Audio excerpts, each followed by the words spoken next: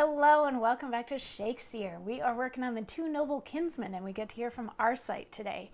So Arcite is currently working in Emily's or Amelia's service and he ran across Palamon in the woods, who sort of challenged him to a duel, but Palamon needed to, you know, recover some of his strength first. So Arcite went and got food and files to take off his cuffs and brought those back, and they were reminiscing, and the, the reminiscing brought them around to Amelia again. And Palamon's like, "No, we really need to fight." So Arcite's like, "I'm going to go find some some swords and some armor so that we can actually have a duel." And Arcite has now come back. We had the monologue with Palamon yesterday where he was like, "You know, I'm actually kind of grateful."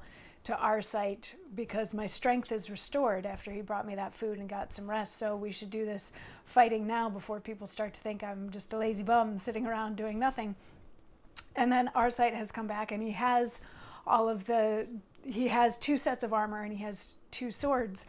And Palamon was like, you know, if if only if only you were an honest man, like I could hug you to thank you instead of having to kill you now.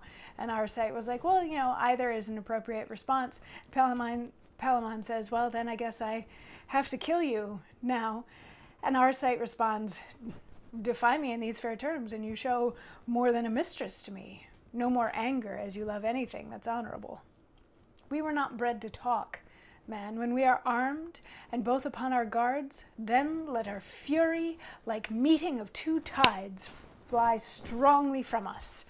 And then, to whom the birthright of this beauty truly pertains, without upbraidings, scorns, despising of our persons, and such poutings fit over girls and schoolboys, will be seen, and quickly yours or mine. Wilt please you arm, sir, or, if you feel yourself not fitting yet and furnished with your old strength, I'll stay, cousin, and every day discourse you into health as I am spared. Your person I am friends with, and I could wish I had not said I loved her, though I had died. But, loving such a lady and justifying my love, I must not fly from it. So, what he's saying is, this is all this is all very very polite like pre-duel banter. He's he's like, you know, if if you weren't going to kill me now, then I would think that you were a wimp.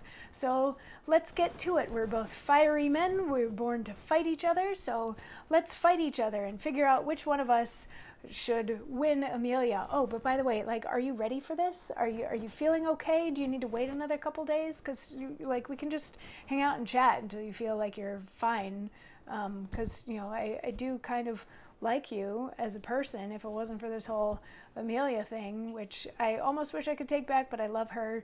So yeah, I, I guess I have to fight for her now, but only if you're ready, which I think is just sort of delightful.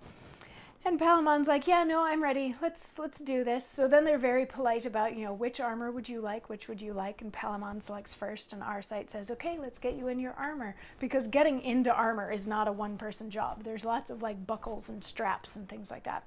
So Arcite helps Palamon into his armor, and they're they're chatting and having pleasant conversation the whole time.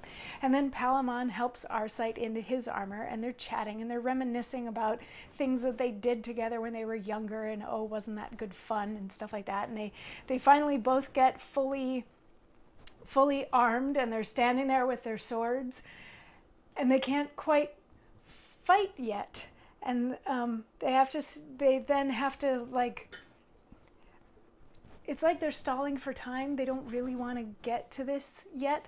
They forgive each other in advance for killing each other.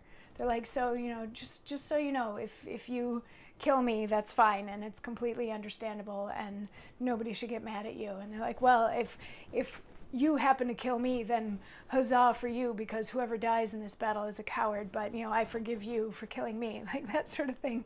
So they they just keep making these niceties and and not quite fighting each other. And then they hear the horns from Theseus and Hippolyta and Pirithous and Amelia who are hunting. They hear the hunting horns. And Arcite is like, oh crap, we can't be out here where the Duke might find us because you know you're escaped from prison and they think that I'm somebody else because I'm in disguise. So they can't find us here fighting. And I was like, we're not supposed to be doing this. They're supposed to be out fighting or out hunting, and nobody else is supposed to be doing random things like this. And Palamon's like, what are you, chicken? Like, come on, let's do this thing anyway.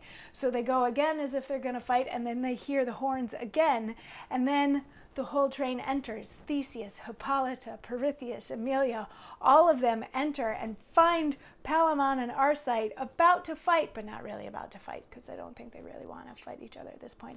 But they find them about to fight, and Theseus has some words, which we will hear tomorrow. I'll see you then for that. Mwah.